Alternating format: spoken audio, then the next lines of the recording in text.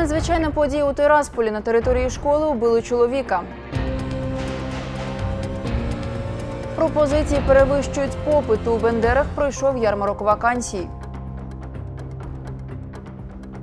У дяді Вані у столиці облаштовують екопарк.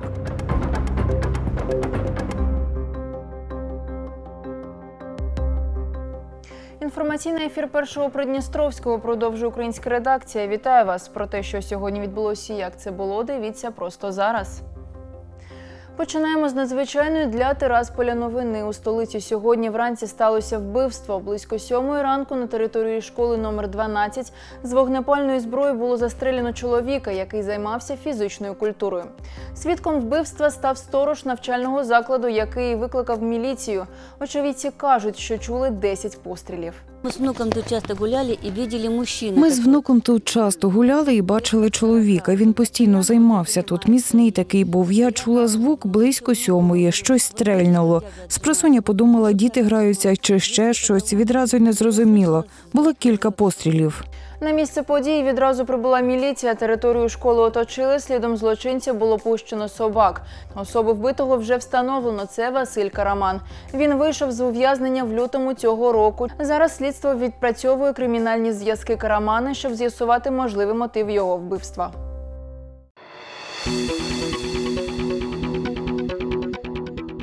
Продовжуємо випуск. В ООН звучав голос Придністров'я. Глава нашого офіційного представництва в Москві Леонід Манаков виступив на 42-й сесії Ради з прав людини Організації Об'єднаних Націй в Женеві.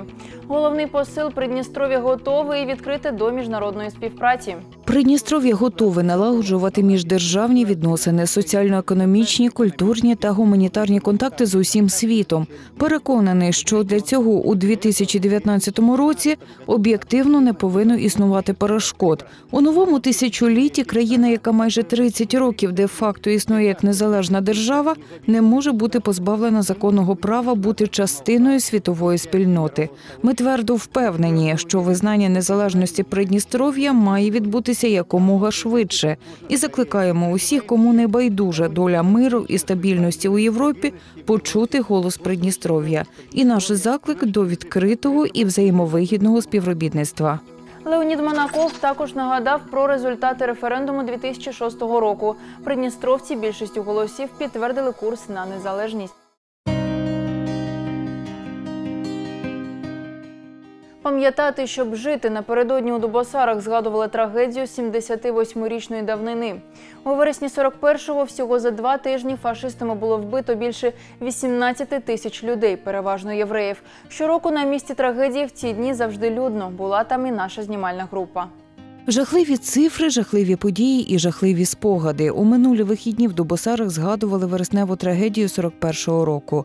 Траурний мітинг пройшов на меморіалі жертвам фашизму. Тут 11 братських могил. У них покоїться тисячі мирних жителів: жінки, люди похилого віку і діти. Вони були розстріляні каральним загоном СС під керівництвом Вальтера Келлера. У перші дні окупації району німецько-румунськими військами його направили сюди спеціально для винищення комуністів, активістів та євреїв. На околиці міста фашисти організували гетто. Сюди зганяли мирних жителів не тільки з Добосарського району, але й з довколишніх міст Придністров'я, Молдови та України. У міру заповнення гетто в'язнів розстрілювали. За два тижні вересня у Дубосарах розстріляли близько 18,5 тисяч мирних жителів. Ми чтім пам'ять тих. Ми вшановуємо пам'ять невинних жертв. Зганяли сюди старих, жінок. Це свята земля. Ми не повернемо тих людей, але пам'ять повинна жити. У моєї бабушки погибли п'ять братів, не вернулись. У моєї бабусі не повернулося з війни п'ятеро синів. Вона осліпла від сліз. Не було сім'ї, яку б не зачепила велика вітчизняна війна. Тому ми будемо пам'ятати і розповідати про цю війну нашим дітям. Кілька років тому на місці трагедії встановили пам'ятник з символічною назвою За що щороку до босарці рідні та близькі загиблих приносять до братських могил камені. У єврейського народу це символ вічності.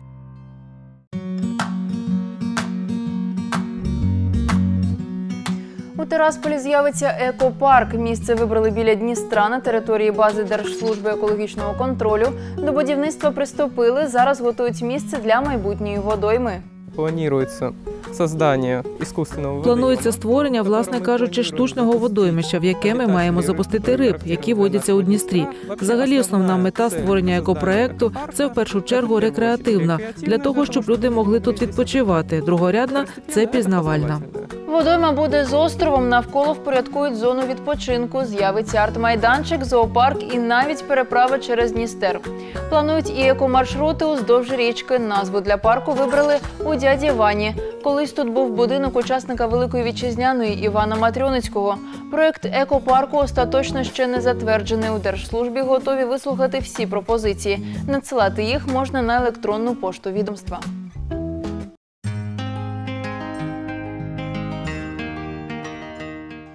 А парку енергетиків причалив незвичайний корабель, п'ятитонне судно, зроблене з дерева.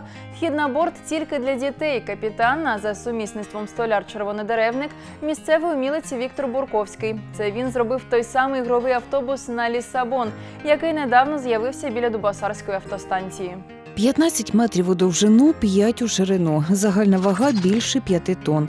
Причалив цей казковий корабель до Дубосарського парку енергетиків. Тільки уявіть, все це зроблено вручну з дерева.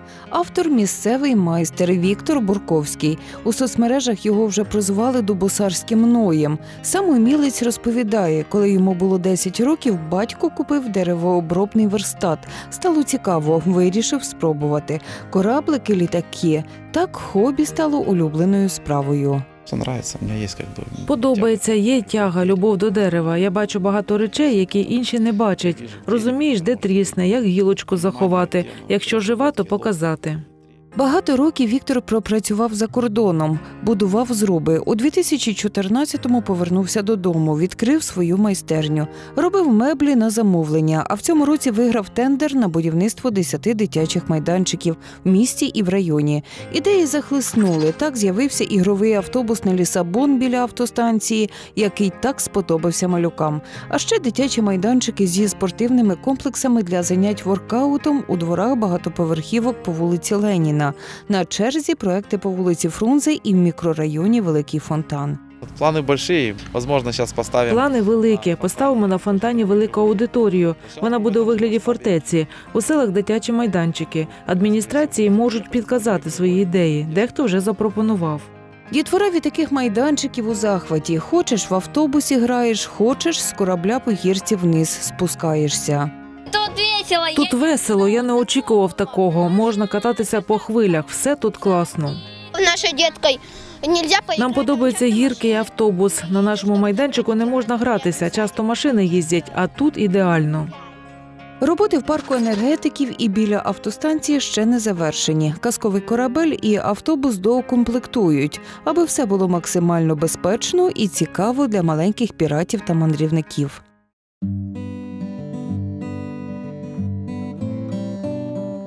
На будинку культури імені Ткаченка незвична афіша. В фоє довгі стенди з пропозиціями, а на паркеті місце зустрічі роботодавців та шукачів роботи. Рік тому тут провели перший ярмарок вакансій. Нинішній ще більш масштабний. Участь беруть 28 підприємств.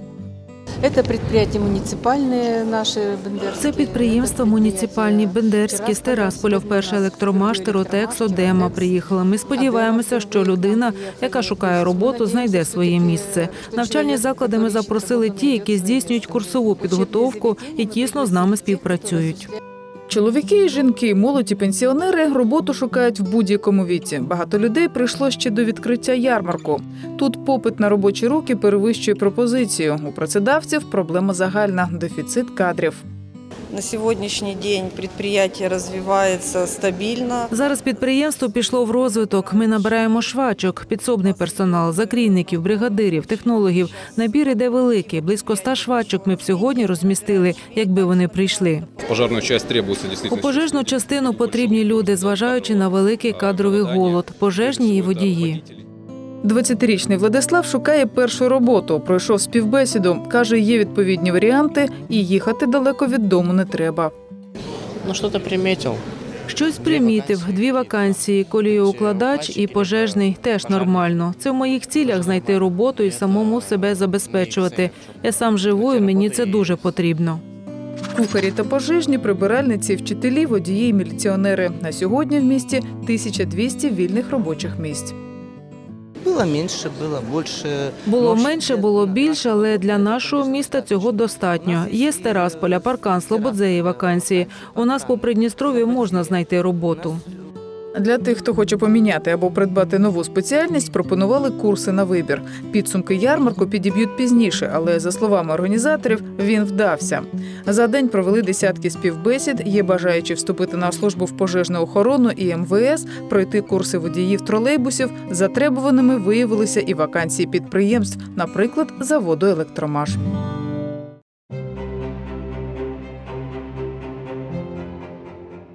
На початку тижня ярмарок вакансія. У суботу бендери зустрічатимуть вже проєкт Купуй Придністровське. Виставка продаж розгорнеться біля міського будинку культури імені Павла Ткаченка. Як завжди, на гостей чекають не тільки знижки, а й ще й приємні сюрпризи. Далі більше. 28 вересня у Бендерах пройде виставка ярмарок Купуй Придністровське. Уже надійшло 70 заявок від учасників. Серед них підприємства легкої, харчової та взуттєвої промисловості. В цьому році більше нових виробників, в тому числі і з Бендер. Будет у нас и легкая промышленность в Буде у нас і легка промисловість в асортименті представлена, і багато бендерських підприємств приєднаються.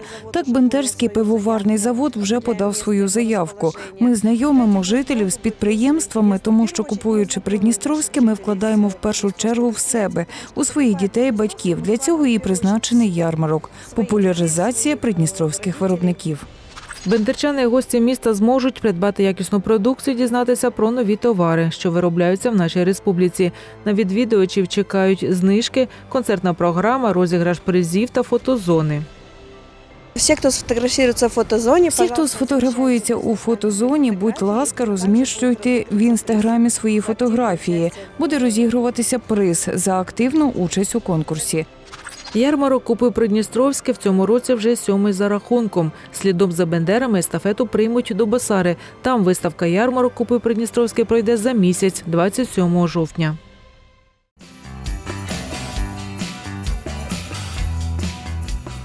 Експеримент вдався. Вулиця Миру з тестового режиму перейшла в постійний рух, залишається двостороннім. Само движение уже показало, что оно эффективно. Сам рух вже показав, що він ефективний. Він працює. Дійсно, місто розвантажується. Багато машин їде в центр, відходить у перехрестя. І водії вже підтвердили, що зручно з боку суклеї заїжджати прямо, а не йти направо. Залишилося встановити дорожні знаки, обмежувачі руху, поновити дорожню розмітку. Щоб ще більше розвантажити ділянку, можливо, зроблять додаткову смугу. Питання пропрацюють в ДАІ. Займуться і вулицею юності. Дорогу хочуть зробити в три смуги. Запропонували, щоб крайня смуга тільки направо йшла, а ці дві смуги йшли наліво. Дано доручення ДАІ. Вони це питання вивчать і дадуть висновок, як правильно зробити цей вузол, щоб там не було пробки. У новому режимі вулиця юності може запрацювати вже до кінця року. Такі маємо новини на сьогодні. Більше шукайте на сайті нашого телеканалу і в усіх соціальних мережах та мобільних додатках. А як це буде далі, ми розповімо вам вже завтра. Зустріч, як завжди, о 18.15 на першому Придністровському.